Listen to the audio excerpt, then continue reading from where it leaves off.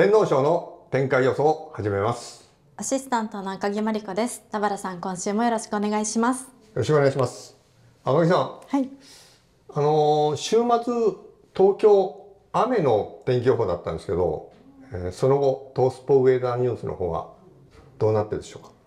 あのトースポウェザーニュースでは府中の天気予報をピンポイントで調べまして雨予報が週明けにずれ込み金土が曇り予報、はい、日曜日晴れ予報に変わりました。あそうですか。はい。では、えー、両馬場前提で展開予想の方を行いたいと思います、はい、スタートしてからの位置取りです。スタート早いのは5番ノースブリッジ9番ホービスケッツ。まあ次いでベラジオペラマテンロースカイでシルトホルン。まあシルトホルンは本当できたら本当に花行きたい馬なんですよね。ですけど若干ね立ち遅れる時もあるんですよ。まあ速さで言えばやっぱりノースブリッジやホービスケッツの方が速いですね。まあ内枠ということもあり、ま、ベラジオペラマテンロースカイでノースブリッジ、まあ、ホービスケッツ、まあ、こういう形で最初コーナーに入ると思います。その後、ステラ・ベローチェ。で、まあ、シルトホルン、ここからね、無理してまでも大野ジョッキーことはやっぱり控えると思います。ちょっと13番枠なんで、ノースブリッジ、ホービスケットの花を叩いていくとなると相当無理な足使うことになるので、やっぱりホービスケッツの後ろあたりで最初のコーナーもあるんではないかなと思います。でシルトホルンの外からレーベンスティールもあのまあゲート E もですしシルトホルンの後ろついていくと思います。シルトホルンが行った後レーベンスティールを見る位置にリバティアイランド、まあ、ウチタステーラで、まあ、ドーデュースとソローレンスはゲート一緒ぐらいなんですけど、まあ、今回ねソウルオリエンスのある程度は出していけるんですけど出していった後も道中やっぱり下がってあの候補になりますよねでやっぱり貯めていった方がいいものなんで今回私横山武史沖それほどね、まあ、コーナーまでも短いですしごちゃごちゃするのも嫌なんで最初からある程度控えていく足を溜めていく作戦だと思います。まあ、同時ですはまあゲートはポンと出るんですけどやっぱこの馬も折り合いにやっぱりちょっと気になるところがあるので竹豊がジョッキーやっぱり最初から無理しないでここで出していってごちゃごちゃごちゃごちゃすると昨年の天皇賞のようにやっぱりかかると良くないので、まあ、最初からもう無理せず控えると思います。その外からダノンベルーガうちキングズパレスでジャスティンパレスなんですけどね昨年阪神大商店や天皇賞勝った時はポンと先行してそこで足をためて抜け出すっていうような、まあ、うん、すごく理想的な競馬ができたんですけど最近ちょっとゲートのでも良くないんですよね。で最近出していくとちょっとしまいの伸びが良くないんですよね。ですから今回はねやっぱりあの昨年たまたま出遅れして足をためていってすごいいい足を使ったんですけど今回そういう感じで前半無理しないんではないかなと私は思ってます。はい、で一番最外枠になった西のレブナント。まあ、この馬はもともとスタートもあまり良くないので、もう出たなりで、まあ、後方待機で、えー、前がやり合ってくれる展開を、えー、待って、えー、追い込みの手に出るんではないかなと予想してます。はい、田原さん、はい、ドーデュースの陣営からは最高の枠が立ったというようなコメントがありました。はい逆にジョッキーさんにとってちょっとやることが増えるなと思うような枠が当たった馬いますでしょうか？はい。レベスティールですかね、はい、あのこの馬やっぱり少しハミに持たれて走るんですよね。でひどくなっちゃうと、まあ、かかるっていう感じになるんですけどまあエプソムカップもオールカマーもルメールさんですからうまく折り合いつけて乗ってるんですけどぱりできたらスタートしてポンと出してある程度冷麺スチールを促していった後は前に馬を置いて壁を作りたいんですよね。ですけどここは、まあ、シルトホルンが行ってレーベンスチールの外から来る馬はいないですしで最初のコーナーまで内に入るわけいかないですよね。ごちゃつくので。そういうレースできない。ですからシルトホルンが行った後をうまくこうつけたいんですよね、うん、ですけどシルトホルンもそんなにね全身規制応戦馬ではなくてシュッていける馬でもないんですよね。まあある程度出していくと思うんですけど大野ジョッキー。でもしかしたらレーベルスティールの方が早いかもわかんないんですよね。ですからその時にルメールさんがいかに乗るかですよね。だからもしかしたらルメールさん本来だったらシルトホルンの後ろぐらいでって考えてると思うんですけどガンとかかるとなったらもしかしたらちょっと後ろに下げていくレースも考えてると思います。まあ私はねルメールさんだからやっぱりうまくまあ、外からかぶせられることもないんでシルトホルンを生かしてシルトホルンの後ろにつけれると予想してるんですよね。はい、まあ難しいことは難しいと思います。はい、リバティアイランドの12番枠はいかがでしょうか？はい、あのー、まあスタートしてすぐコーナーまで距離がない。7枠12番。外枠なので一見不利に思えるんですけど、まあ、私が乗る立場としたらこの出走馬の並びを見たらそれほど悪い枠じゃないなと思いました、はい、逆に内や真ん中でごちゃつくよりもこの枠はいいんじゃないかなと。まあ誰かというと、まあ、ノースブリッジ行きますよね、はい、でホービスケット間違いなく行きます。でこれらが若干内を内に入りますよね内にこう斜めに入っていくでリバティアイランドのすぐ外のシルトホルンも出していきたいでレーベンスティーも行くそうなるとこのノースブリッジ、ホービスケット、シルトホルン、レーメンスティール、おそらくレーメンスティールもよほどかかるってルメース思わない限り、ガンと控えてはいかないと思います。ある程度出していった方が折り合いがつく。そして馬の後ろ、これシルトホルンの後ろにつけた方が折り合いつくと思うので、で、それ、この4頭を見る、ちょうどレーベンスティールの後ろあたりにスポンと収まれるんじゃないかなと。だったら、うちでごちゃごちゃするよりも、まあ、リバティアイランドにとって、まあ、この枠は、まあ、確かに若干外です。外枠ですけど、逆にいいんではないかなと思ってます。向上面の位置取りです。先頭、ホービスケッツ。2番手、ノースブリッジ。最初のコーナー入るとき、私こういう隊列で、まあ、こういう感じの隊列で最初のコーナーに向かってお話しさせていただいたんですけどその後外からノースブリッジホービスケッツで、まあ、ベラジオペラ内から出てこういう形ででこの奥村厩舎の2頭まあ岩田安成ジョッキー岩田未来ジョッキ親子これ本当に最初のコーナーを回る時のホービスケットノースブリッジの前進規制折り合い次第だと思うんですよね。でノースブリッジがガーッと出ていくんだったらもう絶対競り合うことはないですから未来君控えると思うんですよね。でホービスケッツの方が前進規制が旺盛だったら岩田康成ジョッキーの方が控えると思うんですね。まあ、私は金層の競馬を見る限りホービスケットを生かしてノースブリッジの方が一番折り合うんじゃないかなと思って両馬。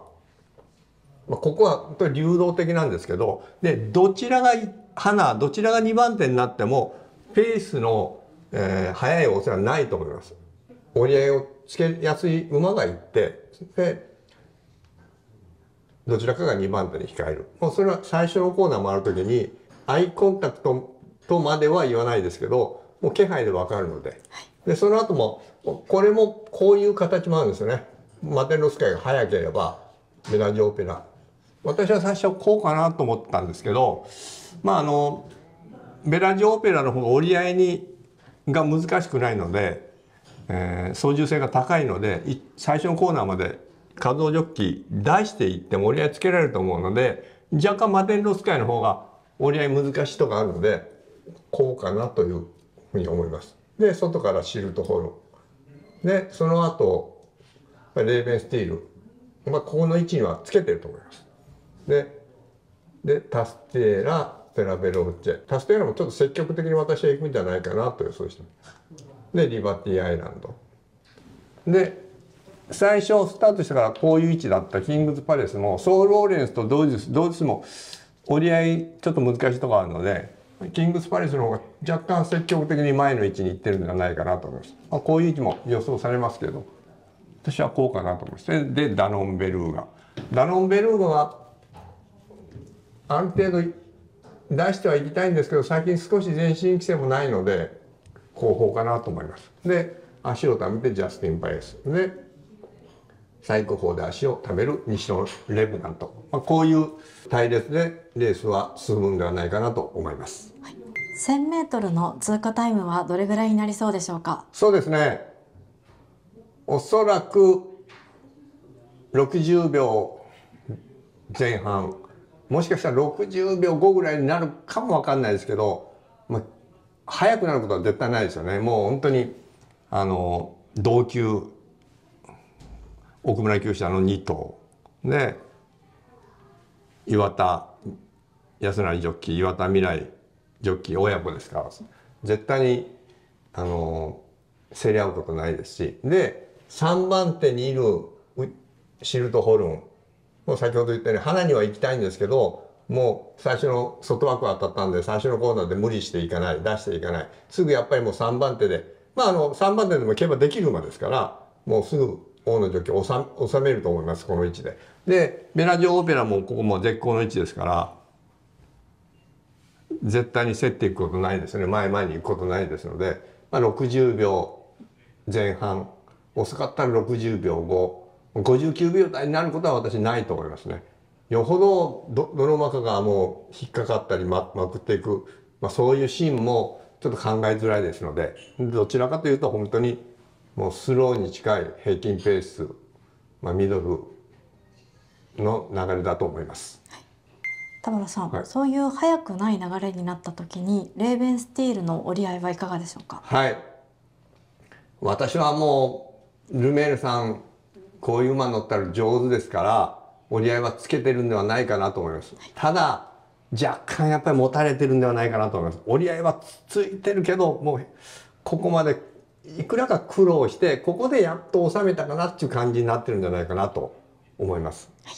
ドーデュースも若干こう力むというかところがあったりする馬ですが、はいはい、このペースでいかがですか？そうですね最初のコーナーまでいくらか持たれてると思います。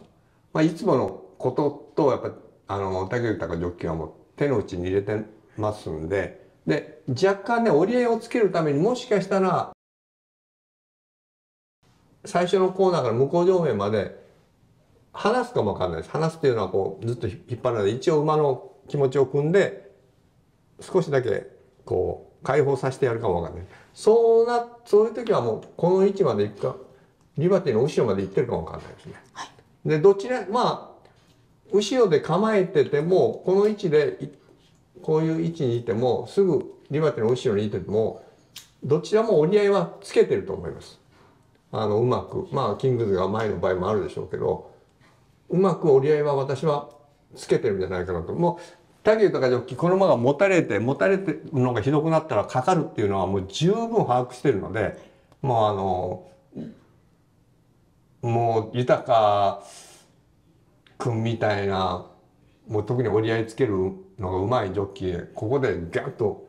引っ掛けられるような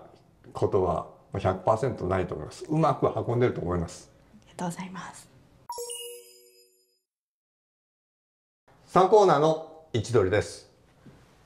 向こう上面の位置取り、向こう上面の隊列と全く変化ないと思います、ここでは。まだ距離があるので、ゴールまで。で、3コーナー過ぎて、ゴールまで残り800メートルの地点を切ったあたりから徐々に徐々に隊列は詰まっていきますよね。残り 800m を過ぎたあたりから隊列が2列目3列目は中段後方の馬が徐々に差を詰めてくるのでこういう感じででそのうちのリバティステラベロ。タスティエラドーデュースキングズパレスソーロレスダノンベルがジャスティンパレス。3コーナーで動きがなかったですけどゴールまで残り 800m 地点を過ぎて34コーナーの間で4コーナーに向かうあたりではぐっと縮まってきますよね、はい、東京は直線が非常に長いですがこの時点でのレーベンスティールリバティアイランドドーデュースのジョッキー心理はいかがなものでしょうか？はい。レーベスティールのルメールさん。まあここまで少しぐらいかかるようなことあってもやっぱりすぐ折り合いをつけてうまくある程度プラン通りに、えー、運べてると思います。でここではねやっぱり後ろのリバティアイランドとドーデュースにかなり意識がいってると思いますよ。あのさあ早めに自分の外からリバティかドーデュース川田さんか武さんが来るかなと。まあ来なかったらいかに自分が前の馬を捕まえて、えー、後ろを封じられる仕掛けをしようかここではすごくあの緻密に計算してると思います。でルメールさんに比べて川田ジョッキーまあ武豊ジョッキーまあ透明の敵と思われるレーベンスティールまあ川田ジョッキーはまあ目視できますよね。であの足色もわかります。ね、でドーデュースの武豊ジョッキーはまあレーベンスティールもレリバティアイランドもレーベンスティールも手応え足色わかります。ですけどすごく足色が良かったらやっぱりそのままこの2頭にマイペースでいかマイペースで行かれるとやっぱり届かないっていうでだから自分がどっかで仕掛けなきゃ早めに仕掛けなきゃいけないかなとまあそういう気持ちは持ってると思うんですよね。まあ川田ジョッキはそのはレーベンスティールの手応えが良かったら自分が出ていかなきゃいけないかな。でも早めにレーベンスティールを早めに捉えに行くと後ろのドーデュースにやられるかと。でもそういうことを思ってここでは進んでると思います。だ結構ね神経戦ですよね。でもここではもうまだまだ残り800メートルにかかるというのはそれほど目に見える動きはないんですけどやっぱりこの3社は非常に緻密な計算で自分の中で神経戦を繰り広げてると思います。はい、4コーナーの1ドルです。楽な手応えでホービスケッツノースブリッジ4コーナーまで来てると思います。で外から、まあ、シルトホルンはね外からあまりかかぶせられたくないので外目のもう並びかけるぐらいの位置まで来てるんじゃないかなと思います。で内からベラジオオペラマテンロースカイ。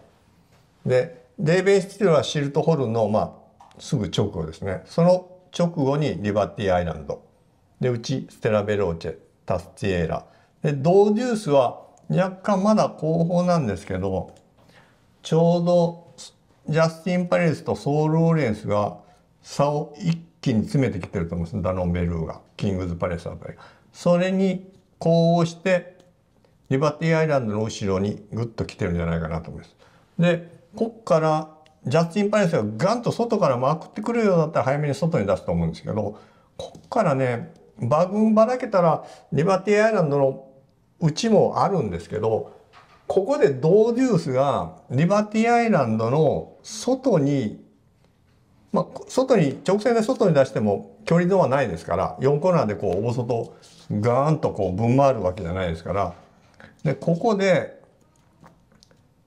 ドーデュースの武豊ジョッキーが4コーナー待って直線向いた時に外に出せないようではもう手応えないんだと思いますね。はい、でも私はおそらくリバティの外から来ると思います。はい、でジャスティンも、ま、ジャスティンがままくってくると思うんですけどドーデュースが行った後ソローレンスはその内から馬群を切り裂いてくる。そういう展開になるんじゃないかなと思ってます。はい、田原さん、はい、川田優雅騎手は前に強い馬がいる場合その馬を早めに捕まえに行くという競馬をされる時もあると思うんですけれども、はい、この展開予想だと前にレーベンスティールがいます。どのような動きをされますでしょうか？はい敵がレーベンスティール1頭だという時は早めにガンと強気に捉えに行くことあると思いますけど今回はね後ろにドーデュースが控えてるじゃないですかおそらくリバティより前にいることはないと思うんですよ。で逆にリバティより前に行ってるドーデュースがリバティより前に行ってる場合はもうドーデュースレースとして失敗だと思うんです。折り合いを折り合いがついてないと思うんですよね。まあその時だったらガンと強気にトライに行くかもわかんないですけど後ろにドーデュースが控えてる。でなおかつソローレンス、ジャスティン・パレス、これハマればいい足使う馬がいますよね。ですから、今回はそれほどね、早めに強気に捉えに行くことはないと思います。レーベンスティールをギリギリ捉えられればいいなっていうような、ちょっとあの、待つ仕掛け、もう早めに捉えて、ぐっと引き離すレースは今回はしてこないんじゃないですかね、はい、緻密な川田ジョッキが私は見れるんじゃないかなと思ってます、はい、直線の攻防です。先頭ホービスケッツ。その外からノースブリッジ。2頭の内からベラジオオペラ。シルトホルンをかわしてレーベンスティールが前に一気に迫りますレーベンスティールの外からリバティアイランドも伸びてきます馬場の真ん中からドーデュース、大外からジャスティン・パレスも伸びてきます。馬群を割ったソウルオリエンスも前に迫ります。ホービスケッツ、粘ってるんですけど、ホービスケッツとノースブリッジの間を割ってベラジオオペラが伸びてきます。前の3頭の外からレーベンスティールが一気に並びかけます。レーベンスティールの外からリバティアイランド、馬場の真ん中からドーデュース。大外からジャスティン・パレスも伸びてきます。ホービスケッツをかわしてベラジオオペラが先頭に立ちます。その外からレーベンスティールが一気に伸びて先頭に立ちます。先頭に立ったレーベンスティールの外からリバティアイランドが馬体を並びかけます。馬場の真ん中からドーデュースも前に迫ります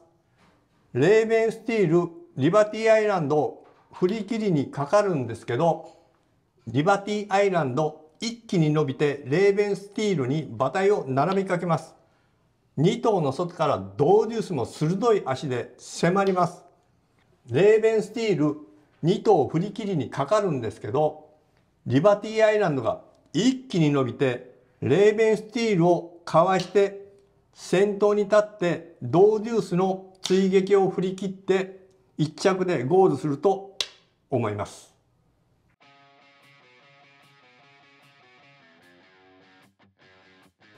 では今年の天皇賞秋田原さんの優勝馬の予想はリバティアイランドということですね。はい。リバティアイランド休み明けですけどきっちり仕上がったと思います。馬体重は増えてますけど私は成長分だと思います。あの迫力を増してたくましくなったリバティアイランド、えー、ドーデュースレーベンスティールまた他にも強い G1 馬いますけど、えー、1着でゴールするんではないかなと思います。では2着の予想はレーベンスティールとドーデュースどちらになるんでしょうか？難しいんですよね、はい、レーベンスティールすっごいね調教抜群なんですよねでも良すぎてね引っかからないかなっていうちょっと懸念があるんですよね。でもねやっぱりルメールさんはうまく折り合いつけて乗ってくれると思います。もう本当にあの気象的なポカがない限り私はレーベンスリーが2着なんではないかなと思います。もう本当に五分なんですけどねドーデュースと、はい、ドーデュースもね調教いいんですけどまあ一回叩き良化型かなっていうのもちらっとこう脳裏をかすめるしまあうまくいったらやっぱりすごいいい足は持ってるからもうどちらとも言えないんですけど私はレーベンスティールではい決断しました。で3着を争うのは？あまあ同日ですね。同です。はい。まあ本当にそうですねやっぱりこのまあ今回の天皇賞この3頭の争いかなと私は予想してるんですけどまあジャスティン・パレスもうまくいったらソローレンスまあ先行馬もペース次第では怖いんですけどやっぱり3着の人は同日かなと思います。あえて穴馬をあげるとしたら？レースがすごくうまくいったというのをノースブリッジですね、はい、はい、では赤井さんの予想を聞かせてください、はい、私はこの東京の長い直線で追えば追うだけギャンギャン伸びるソウルオリエンスが1着でゴールすると思います、はい、ソウルオリエンスは東京のコースで1100と1着と2着しか取ったことがないというぐらい東京講座だと思います、はい、コーナリングがちょっと苦手なのかなと思うところもあるんですが東京のコースだと本当に外を回さずとも競馬ができていますしこのコースでソウルオリエンスの持ち味が存分に生きると思います。太鼓は？太鼓はドーデュースです、はい、本当にちょっと調教がですねいつもめちゃくちゃよく見せるだけに、調教がちょっとなんていうんですかその指標にあまりならないんですけれどもやっぱりあの調教を目の前で見てしまうともうこの馬をこう上位に持ってくるしかないという感じですね。調教いつもいいからちょっと難しいんですよね。そうなんです。はい、僕もね調教いつもいいし、まあ、先ほどちょっと叩き量かかかなとかでいろいろ迷うんですけどもう調教本当に抜群ですよね。はい、殺着が休み明けですけど本当に馬なりでこんな時計が出る馬がいるのだろうかと思うぐらいの時計を出してるリバティアイランドですね。はい、じゃあ、まあ、ソローレンスも穴馬、ね、人気的には穴馬だと思うんですけどあえて赤木さんが穴馬を上げるとしたらどの馬でしょうか？ダノンベルーガです、はい、もうこの馬本当にクイノックスドーデュースがいる中で、まあ、ダービーに一番人気に押されたぐらいの実力馬だと思います。はい、金層その期待に見合った成績かと言われたらそうではないのかもしれないんですけれどもこの馬も東京がすごくベストの舞台だと思っているので上位に差し込んでくる可能性は十分にあると思います。はい、男前の予想ですね。僕はちょっと守りの予想。まあ赤井さんがバシッと攻めの予想してくれたんで、はい、はい、心強いです。はい、それでは私と赤木さんの展開予想を参考にして天皇賞楽しんでください。今日はありがとうございました。ありがとうございました。